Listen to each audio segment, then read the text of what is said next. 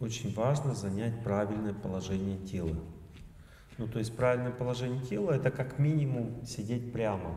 Вот если вы на стуле, и вы, ну, как бы, как минимум сидеть прямо. Просто из вас есть люди, которые сейчас плохо себя чувствуют. Вот поднимите руку, кто вот себя плохо чувствует, но хочет остаться на ретрите. Вот плохо прямо человеку. Есть такие? Вам. Если вам совсем плохо, то тогда можно облокотиться на спинку стула. Потому что когда человеку плохо, ему и так, он и так напряжен, ему и так э, тяжело.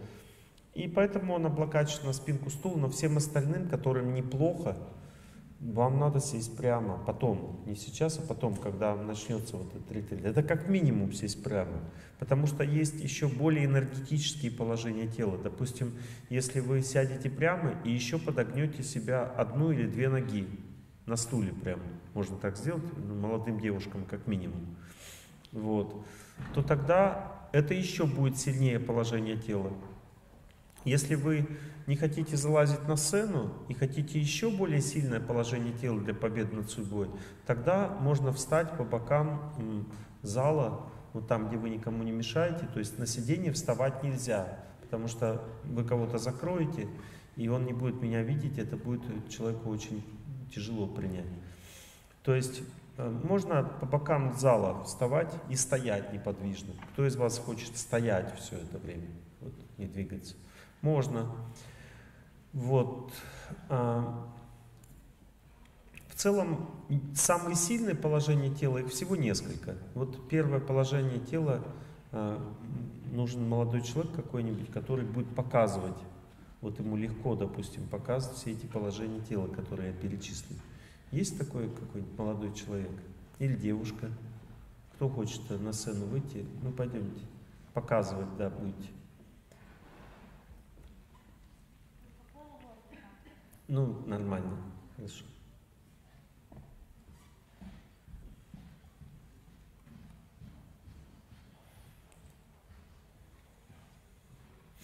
Итак, первое положение тела – это вот прямо, неподвижно стоим. Так вот, стоим прямо. Ручки опущены, голова прямая, шейка. И вот так повторяем. Я желаю всем счастья. Вот мы вот так стоим. Это положение тела а, дает возможность человеку вытерпеть ситуацию своей жизни. Вот, допустим, не могу вытерпеть мужа. Или не могу вытерпеть город, в котором я живу. Или погоду какую-то. Ну, если человек прямо стоит, у него возможность вытерпеть все, что угодно, повышается. Следующее положение тела – это стоя на коленях. Положение тела стоя на коленях. Стоя на коленях. Это положение тела уже дает возможность принимать. Ну, то есть иногда надо что-то терпеть, а иногда надо принять. Вот, допустим, мужа лучше не терпеть, а просто привыкнуть к нему, чтобы вообще вот, принять полностью его, вот, какой он есть и все. Ну, а вот, допустим, принять алкоголика невозможно. Придется терпеть. А если он нормальный человек, то лучше его принять, а не терпеть. Вот это тогда э, положение тела на колени. Следующее положение тела, когда ты продавливаешь судьбу, называется поза алмаза. Вот она села на ягодицы, прямая спина, и, и вот это уже там, допустим, на стуле вряд ли вы сможете так сесть, хотя кто-то сможет, вот, а кто-то не сможет, кто-то на сцену пойдет. Вот на сцене можно так сесть, поза алмаза. Э, вот так вот продавливается судьба, выдавливается, допустим, я не хочу в тюрьму, допустим, да, тут принимать нечего, надо просто побеждать. И человек в позе алмаза молится, и он выдавливает эту саму возможность из своей жизни сесть в тюрьму. Поза алмаза так есть.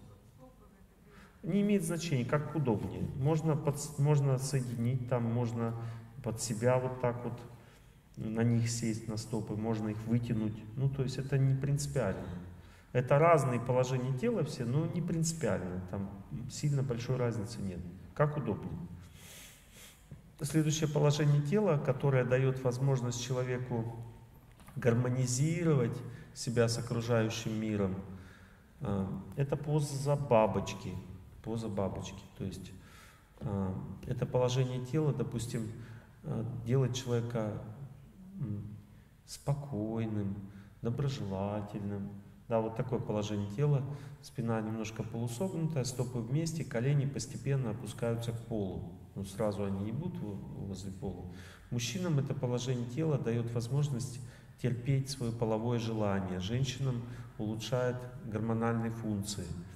В целом людям дает возможность быть э, добрее. Допустим, если человек гневается, то он молитву, когда читает вот в позе бабочки, то он меньше начинает гневаться, потому что энергетика по-другому начинает работать в организме. Он не такой, как бы, э, не так быстро и сильно реагирует на то, что происходит.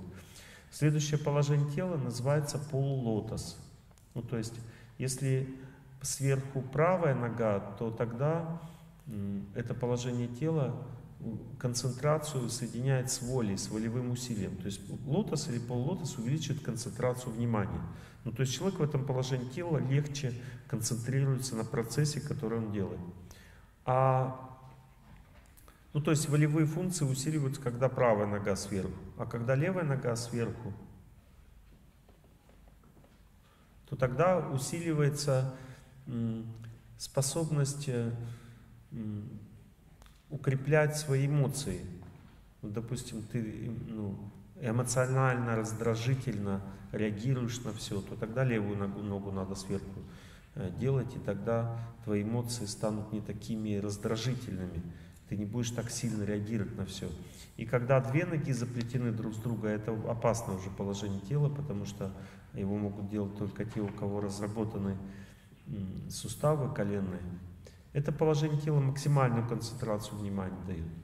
Вот все, спасибо, можете садиться на свое место. Ну, то есть вот эти все положения тела, которые э, я вам перечислил, они и самые эффективные для побед, победы над судьбой. Но в целом вы должны знать, что разум имеет две функции. Он или спит, или бодрствует. И функции разума очень сильно связаны с положением тела. Вот, допустим, если человек сидит и облокотился на спинку стула, как вы думаете, в это время разум спит или бодрствует? Спит. Потому что есть только один вариант, когда разум бодрствует, это когда человек находится в аскезе для тела. Вот человек, допустим, сел прямо, разум включился. Разум это что такое? Это возможность побеждать судьбу. У нас эта возможность находится только в разуме. Если человек расслабился, он выключился. Все это знают. В расслабленном положении человек не будет побеждать судьбу. Вот, допустим, человек воюет, да, он там, война идет, ему надо там танки подбивать. Он не может так расслабиться, типа, и стрелять, правда? Он весь собран, сосредоточен, ему надо побеждать, означает собранность.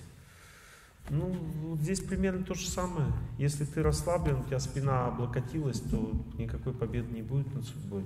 Разум не включится, потому что тело не позволит. В ленивом теле не бывает включенного разума. Ну, то есть сидишь прямо неподвижно, вытянулся, значит побеждаешь судьбу. Нет, значит нет.